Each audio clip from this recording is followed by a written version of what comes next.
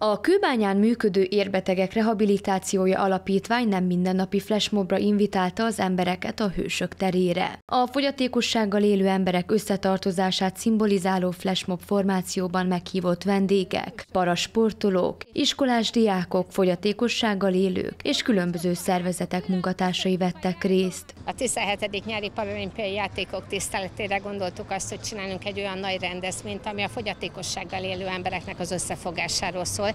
Ezért gondoltuk azt, hogy nem is lehetne más impozánsabb. És akkor most mondom a kulisszatitkokat ebbe a történetbe, tehát eredetileg azt szerettük volna, hogy Gabriel Alkangyalal együtt legyen ez az egész történet létrehozva, de éppen most volt ennek a rendezése, hogy felújítás alatt van az Arkangyal.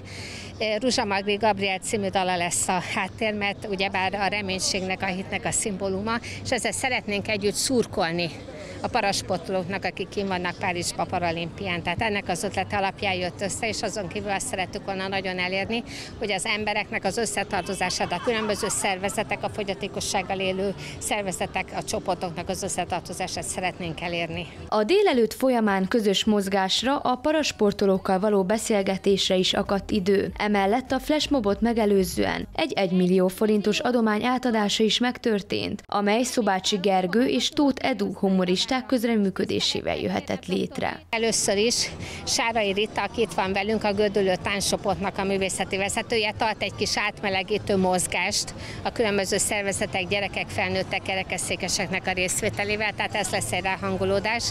10 órakor lesznek az ünnepi köszöntők. Két fővédnökünk van, dr. György István, államtitkár és Szabó László, a Magyar Paralimpiai Bizottság elnöke. Mind a kettőjüknek az üzenetét föl fogjuk olvasni, mert mind a kettő hivatalos ügyben tábor van, illetve kim vannak Párizsban, és miután ezek megtörténnek, tehát egy kicsit átbeszéljük, hogy mit jelent a fogyatékosságügy, és aztán pedig egy nagyon-nagyon szép dolog fog történni, egy adományt fogunk átadni. Gyermekonkológiai adománygyűjtés eredményeképpen ez fog megtörténni, és hogyha ennek vége van, akkor beállunk a flashmob formációba, amit Mártis Tepszira koreográfiája alapján készült, tehát két kerekesszékes alakot fogunk megformálni, amiben be fognak az emberek ülni, vagy kerekesszékkel, vagy székbe, tehát mindenki ülő formációban lesz, és azt fogjuk megmutatni az embereknek, hogy, hogy hogyan működik ez az összetartás, és ez a tiszteletadás a paralimpikonok, maguk az egész szervezet, és, és mindenki az edzők, mindenki, aki benne van ebbe a történetben, ők előttük. Hány emberre van szükség ahhoz, hogy ez a forma kijöjjön, és kik fogják tulajdonképpen alkotni? Legalább 200 emberre van szó, mindenféle fogyatékossággal szervezetnek. Tehát ezek alatt értjük a mozgásszervi fogyatékossággal élőket, a látásfogyatékossággal élőket, a hallásfogyatékossággal élőket, a beszédfogyatékossággal, külön kiemelve az afáziás betegeket, fogyatékossággal élőket, tehát az értelmi sérülteket, tehát mindegyik csoportból képviseltetik többen magukat, és különböző szervezetekből, hivatalos intézményekből, főpolgármesteri hivatalból, tehát mindenhonnan jönnek, akik úgy gondolták, hogy hogy mellé tudnak állni ennek az eszmének, és mindenki, aki itt van, és ami nagyon lényeges, parasportolók, tehát itt van nagyon sok parasportoló, nagyon sok kvalitásos parasportoló, és két humorista, Szobácsi Gergő és Tóth Edu, ők jönnek, és ők fogjuk az adományt átadni. Tehát így fog ez az egész formáció kinézni.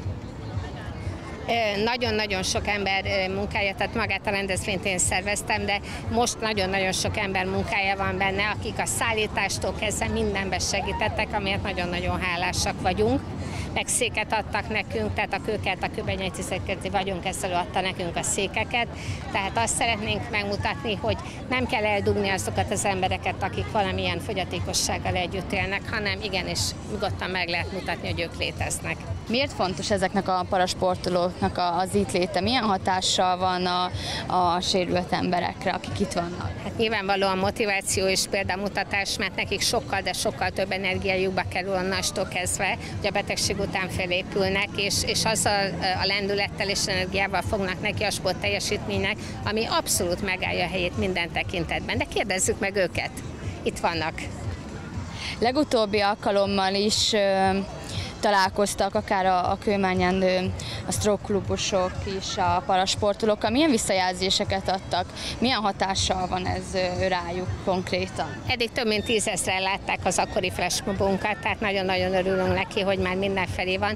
Jelen pillanatban mi elkészül ezzel kapcsolatban videó és film, ezt az egészet kiküldjük a Nemzetközi Paralimpiai Bizottságba, illetve a Magyar Paralimpiai Bizottság fogja a saját oldalán is ezt megjeleníteni, és mi is tegyeztük minden irányba.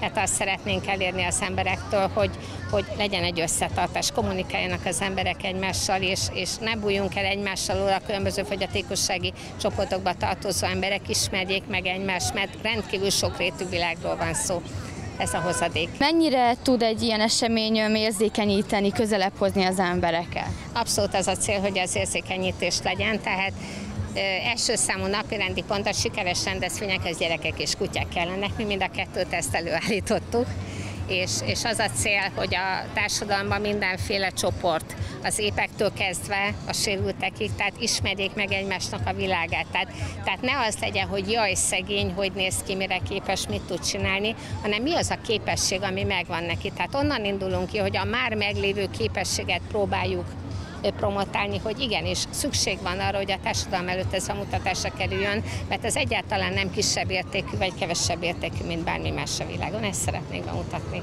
A rendezvényen jelen volt Raska Gyula is, a magyar ülőröplabda válogatott szövetségi kapitánya, aki több parasportolóval érkezett az alkalomra. A sportolók sokat beszélgettek a fogyatékossággal élő emberekkel, és osztották meg tapasztalataikat. A mindennapokban nehézséggel küzdőket inspirálni tudják. Én azt gondolom, hogy eh, nagyon fontos szerepünk és feladatunk az, hogy eh, ezek a fogyatékkel élő fiataloknak valamilyen célt vagy valamilyen példát mutatni arra, hogy hogyan lehet a hétköznapjaikba beépíteni a sportot, esetlegesen milyen eredményeket érhetnek el, és egy, egy, egy olyan, egy olyan uh, utat mutatni, ami egyáltalán az ő életükbe beépíthető, és igen, sportoljanak, ne hagyják el magukat, és legyen egy, egy inspiráció a sporttal kapcsolatban ha már megközelítjük őket, és, és a közelükbe kerülünk az embereknek, és látják test közelből, hogy eh, hogy élnek ezek a srácok, és, és tényleg húsvér emberek, és egy, egy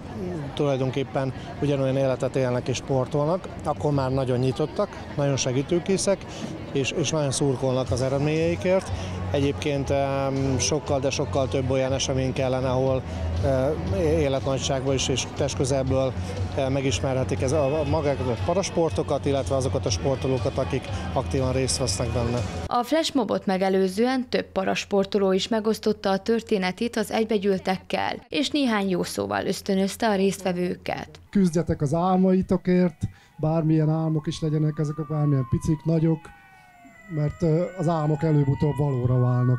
A rendezvényen több mint 200 érintett vett részt, a program igazán jó hangulatban telt. Ez az esemény is közelebb tudta hozni egymáshoz az épp és a fogyatékossággal élő embereket. Emellett inspirálni tudta azokat, akik nehézségekkel küzdenek a mindennapokban.